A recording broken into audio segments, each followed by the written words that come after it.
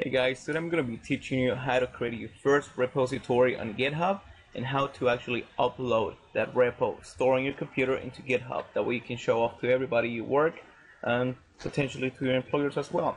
So we're going to start creating a repository on github.com, right? If you don't have an account, go ahead and make an account. It's free and it's really simple to do it. Now we're going to go, go create a repository, create a repository name. We're going to give them whatever name you want for your repository then you can create a description. Say this is a little description. You can make it public. If you want it private you have to pay for it. But public you know it's good enough for now. And then you click create repository. Simple enough. Now you know there's a couple instructions to follow but there's some things that are missing so we're gonna work on that.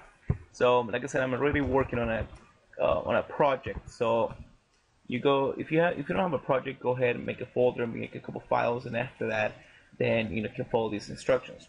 So like I said, we got fading cubes. Go into the folder. Uh, I want to show you something right now. As you can see, there's only four files over here. If to start, forget to start tracking of everything, we have to create, we have to uh, get to initialize that. So the command for that is git init. Then you see L. Now it creates a folder get init, which is pretty much where everything is being tracked, where everything being stored, all the information that Git is keeping track of. Now we want to add all the files, git add everything that's the asterisk for, meaning everything in the folder wants to be added. That way Git keeps track of that. Then you do that, git status, meaning oh new file, rem new file, blah blah blah. So now Git is tracking every single file. If you don't want to track every single file, just go git add and specify which file you want to do. Uh, if you want to add every single file, go ahead and git add and the asterisk, which means everything. The commit pretty much means that you can say first commit, and that pretty much um, tells you know to Git that everything is good to go.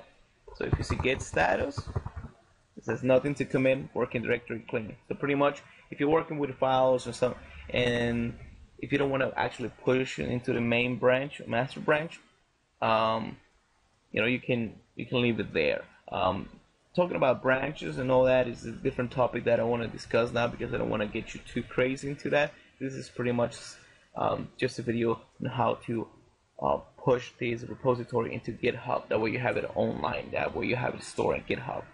Um, I will do another video to explain a little bit more about what branches are and how to work with them. So for now, everything is committed. Everything is good. So we do uh, and we, we want to work with a remote repository. So we tell Git that we have to add that repository, add origin, and then HTTPS, um, sorry, slash slash GitHub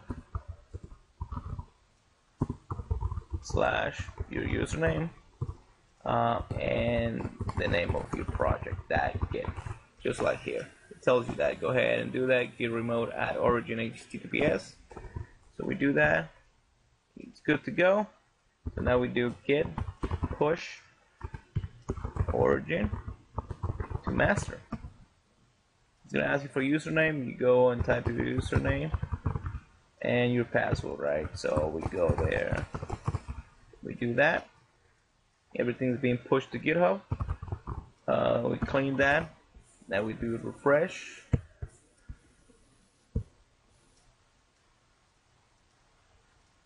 Gonna wait a little bit for it.